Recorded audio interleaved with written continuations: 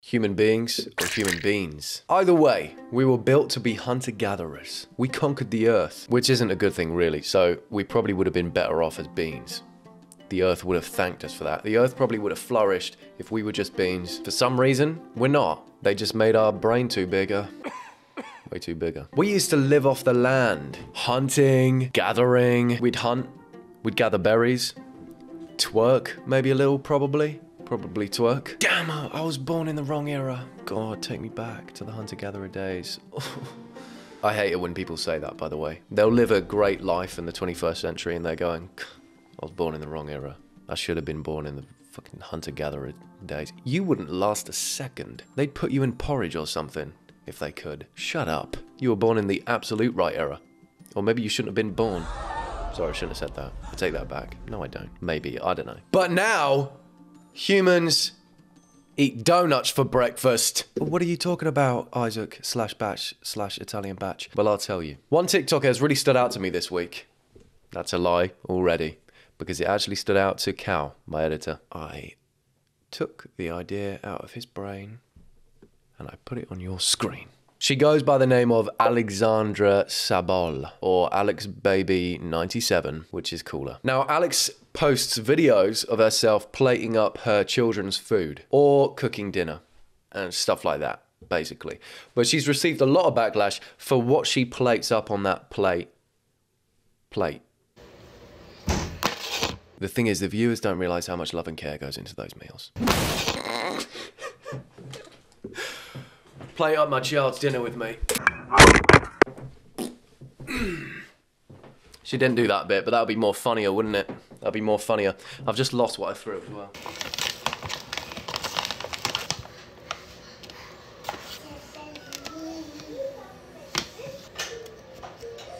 I especially like in this video how she spoons the donuts in half to make it look like there was prep involved. To break a donut in half, it's not difficult. You don't need a spoon for it. So the spoon wasn't really necessary. The thing is, if this was like a one-off, it'd be fine. It's cool, get a donut for breakfast, one-off, that's really cool. But it's not. This is just what she does. Hence the bad reaction in the comments. The toss of the plate onto the bench indicates how much love and care goes into the poor little person's breakfast and that smile on mummy's face. That is quite true. She does just slap that shit down. And other people saying, how is this breakfast? Some people do defend her. They say, if I was a kid, I'd love this. Who doesn't like donuts? True, but not true. I don't think you would like donuts if you were fed donuts every day as a child and you got to the ripe old age of 18 and you don't like any other food because you've only been eating donuts your whole life. Kids are so malleable. You are literally defined by your environment. If you are only exposed to one certain type of food your whole life and then someone throws a fruit or a vegetable at you, you're gonna shit your pants. You just won't eat it. She does lunch as well, by the way, not just breakfast. There goes the plate. Boom! Plate up the fucking lunch for that little twat.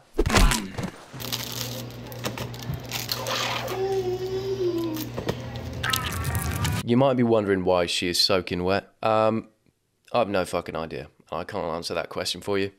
I'm, you know, I've been, I've had this video on my phone for a, a week. This still haunts me. I have no idea why she's soaking wet. You know, I was thinking of filming a video one time where I was literally just dripping wet, and I wanted to see if anyone would bring it up or just what you would say about it, but I haven't, and now I can't because I've ruined the joke. So thanks. So in that video, she made um, I don't know I had to search it, found out it was some like pocket of peanut butter and jelly, but it was a hazelnut version or something, or chocolate version. It wasn't like peanut butter and jelly. And then there's a cheese string, which she cuts up with a knife. Again, she does the classic old trick where she's cutting something up so it looks like she there's prep involved. But halfway through, she realizes, oh fuck, this can't be asked. She starts ripping the thing up, which you should have done in the first place. And again, people in the comments weren't happy about this because the kid is clearly getting no nutrition. It can't make its own food.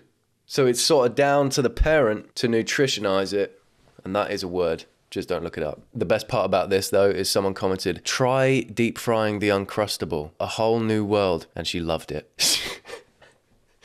she, by the way, she doesn't she doesn't interact with any comments at all. Um, she certainly doesn't take any advice on board, and yet when someone mentions deep frying something, she loves that. Love it. Now, don't get me wrong, this person deserves absolutely zero hate I'm not saying she is a bad person, and I never agree with anyone hating in the comments. She might actually think she is doing her best because one of her videos is titled Healthy Midnight Snack, and she makes a fucking Pop Tart. So I don't know if she genuinely thinks she's making uh, like healthy, nutritious meals and she is doing a good job, or she's well aware that she's not, and it's all for TikTok? I have no idea. And the food thing is clearly her whole like brand because even her bio says she's not a regular mum, she is a cool mum. Sorry for a little sidetrack here, but I realized I was supposed to say something in, in the intro about me as a child because I just have this image here and this was supposed to be a whole joke. So just pretend I made the joke now. This is me as a child. It's a sperm. Okay, moving on back to the video. Actually, before we go back to the video, take this moment to like the video, comment on the video, and subscribe. Back to the video. But in her defense, she does sometimes cook.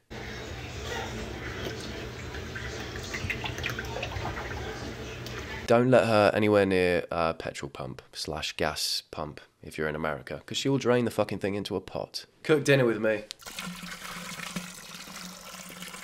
Yep, that's about a litre. There's a clear trend here, isn't there?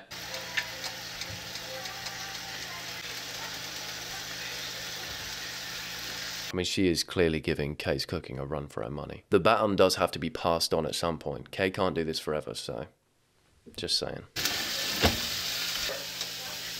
The technique is just crazy. I mean, have you ever seen anyone season raw beef when it's in the pan and then flip it onto the seasoning? I've never seen that. I didn't think anyone's brain would process something like that. And I would give my left bollock, which is my favorite one, to say that these will end up raw in the middle and burnt on the outside.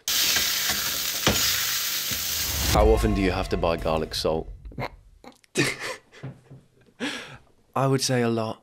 I would say a lot often. I'd love to give her the benefit of the doubt and say that Alex really does mean well. But if she did mean well, then um, she wouldn't act like she does act in the videos. She clearly doesn't give a shit. Like she's throwing the plates down, slamming the food on. She looks miserable. And if she really did care and she did mean well, then she wouldn't even be making these videos in the first place. I already think that you know, those even the lives and the videos where people are plating up their kids' meals, or any video really where someone's like just exploiting their children for views, I think it's really fucking weird. And it's so convenient that her videos just happen to be over that 60 second mark, which means she's making money from it. The time spent filming those videos could be put towards preparing better food or just preparing food at all because she doesn't. She just cuts stuff up with a spoon.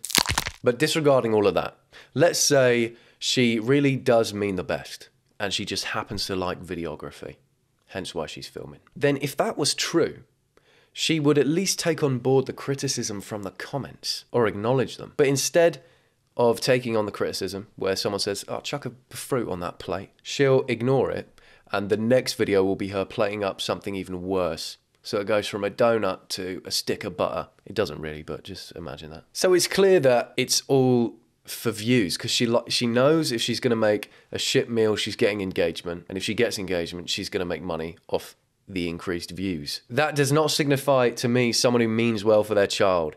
It's th- if they are purposefully feeding them shit so they can get views and make money off it. You're making money off it. Spend the money on food. And this isn't even one of those cases where I can say, oh, well, she's not harming anyone. Leave her to it. Because she literally is. It might not seem like a big deal, but if you are being fed donuts every single day as a one year old, you will develop heart disease when you're older. You will get cancer. Foods like that are not good for you. Everyone has a donut in moderation. I had four Krispy Kremes yesterday, but I'm a full grown male, and I was, I was at a bad point in my life. Okay? But if you're giving your kid donuts every single day, it's going to have a, a bad effect on their body and their health. Going forward in their life, they're going to be a fussy eater. They're not going to want to eat vegetables or fruits or anything that's good for them. They're going to be stuck in that bubble and you've decided their life for them. This is why TikTok is such a scary thing. Now that anyone can make money off a 60 second video because the algorithm is built in such a way that you don't even need followers to get views you don't need to put hard work in to get views anymore. It means people are doing anything for money. They know if they make a 60 second video doing something they shouldn't, it's going to get a bad reaction which is just going to result in more engagement and more views and more money. Parents are really taking advantage of this. They're doing shit like this, shit where they're just going on live with a kid if their kids got something wrong with them, they'll make them a page and they'll film every second of their life and they'll put it on their page. Sometimes that's a good thing. Sometimes the kids like that. A lot of the time, it's not a good thing. The comments are never nice because no one is nice. You've got to accept the fact that if you're posting something online, people are not going to be nice about it. And over time, it just breaks them down. You, we've seen it with family vloggers. The kids never end up okay because they are just being vlogged every second of their life. Everything is being broadcasted to the whole world. is a recipe for disaster, and that's why I think future generations are actually doomed. You know, it won't be a missile that kills you, it will be videos. This one was less of a fun video, more of a um, public service announcement. I just don't, I just don't like it when people exploit their kids for views. And although this isn't direct exploitation of the child, because the child is not the child is sometimes in the videos, but it's not like, you know, stand in front of the camera so we can get some views and some money. But it's indirect exploitation. The child is still having to eat these meals because the mother knows that making these meals is going to get her views because people are hating on them. And so that's why I made a video on this. Reminder that the podcast channel is up. Link at the top of the description to go and subscribe. There may be a video on that. I don't know. I don't know where we are in the world. Thank you for watching. Like, subscribe, comment, share this to your family group chat. That's it. See you later.